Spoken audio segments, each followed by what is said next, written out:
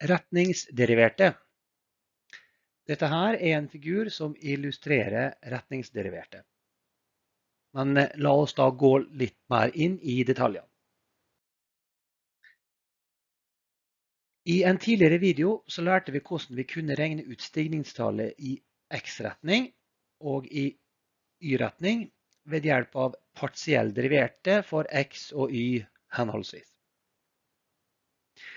Hva om vi ønsker å finne stigningstallet i en vilkårlig retning? Eksempel langs linja y lik x, slik som vist i den figuren her nå.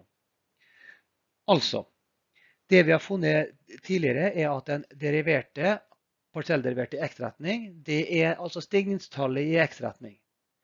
Og del f del y, det er altså stigningstallet i y-retning. Men hvis vi nå ønsker å å finne stigningstallet i en vilkårlig eh, retning. Ikke nødvendigvis i X-retning, og ikke nødvendigvis i Y-retning, men kanskje noe midt imellom, eller noe annet. Hvordan finner vi retninga i en vilkårlig retning? Det er det spørsmålet vi ønsker å svare på nå. Og svaret på det er den retningsderiverte, så la oss da definere hva vi mener med den retningsderiverte. Den retningsderiverte, dvs. Si stigningstallet, til en funksjon z lik f av x, y langs eh, retninga a enheter i x-retning og b enheter i y-retning er definert ved denne ligninga.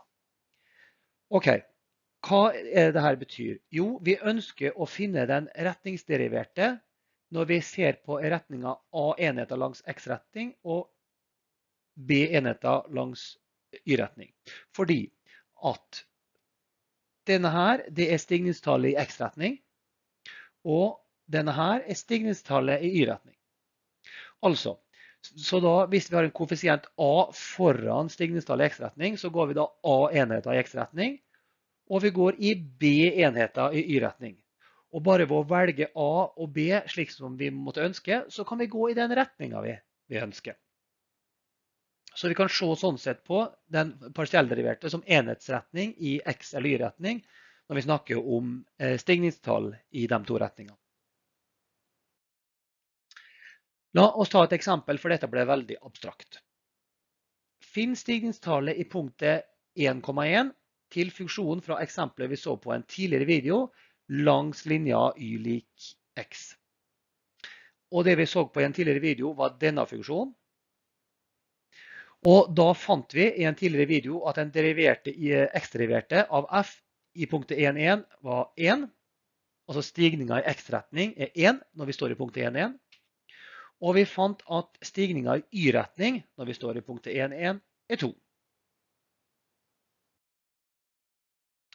Så løsninga på det er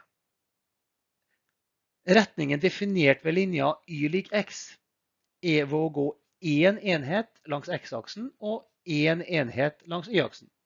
Det vil si at a lik 1 og b lik 1. Eh, og hvis dere er litt usikre på hvorfor det å gå langs linja y lik x tilsvarer a lik 1 og b lik 1, så kan dere spørre meg. Jeg skal lage det en, en egen video.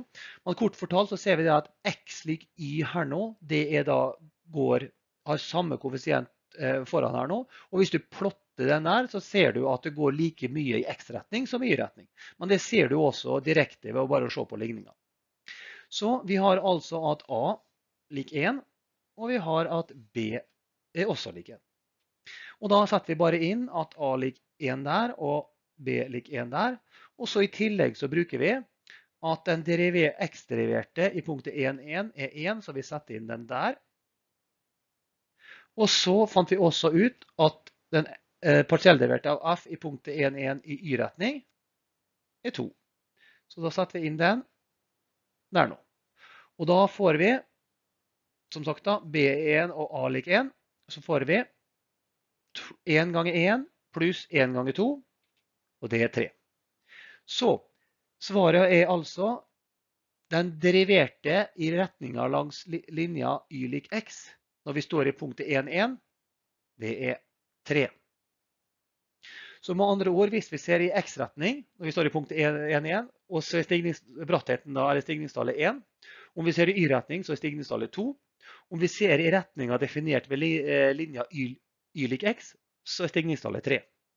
Altså konklusjon.